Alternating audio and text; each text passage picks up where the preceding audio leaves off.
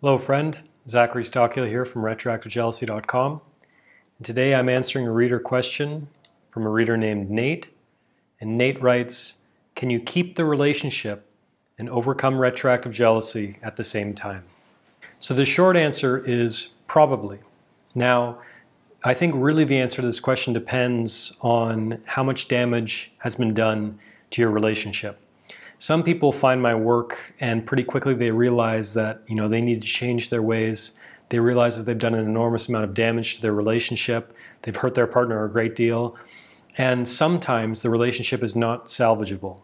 But more often than not, if people find my work and they really engage with it and they take what I'm saying to heart, they buy my book, they take my online course, they sign up for coaching, they own their problem, they start to move forward in a positive direction, more often than not, the relationship is salvageable and the more work they do, the better things get, and the relationship generally improves. However, your question, I understand where it's coming from. And I want to sort of tease out some of the elements of your question that maybe you were thinking about when you asked it, maybe you weren't, but I think it's worth teasing them out a little bit. So, one of these ideas that I really want to make clear is that your partner can't solve this problem for you. And overcoming retroactive jealousy is largely a solo project. It's largely on you and you alone to solve. So I say that because while your partner can certainly support you and be there for you, you know, you can't put this problem on your partner to solve.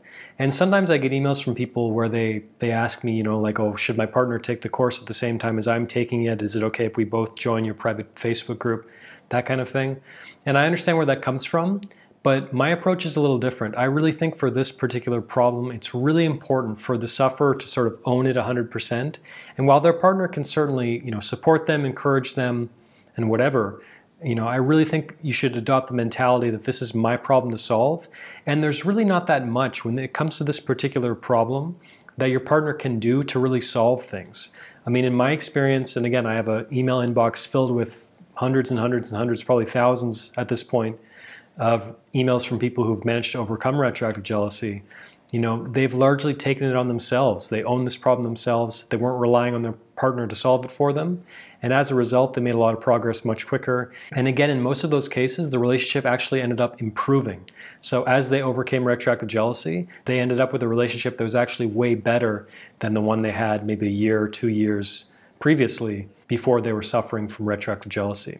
If you're at all concerned that you've done a tremendous amount of damage to your relationship and, you know, it might be too far gone to fix, my advice would be, well, first off, stop talking to your partner about their past if you haven't started doing that already. Stop putting this problem on them to solve. Stop punishing them for their past. Stop asking them all kinds of questions and harassing them and just don't do that at all because that's going to make things much worse and make the odds of a breakup much higher. But aside from that, I would advise you to really start putting on the work, owning this problem yourself, and really start to take the steps you need to take to overcome retroactive jealousy.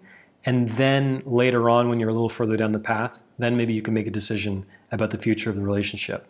So I hope you found this video helpful. Thanks for your question. If anyone watching this found this video useful, please be sure to click the like button below. Be sure to subscribe to my channel, and I'll talk to you again very soon.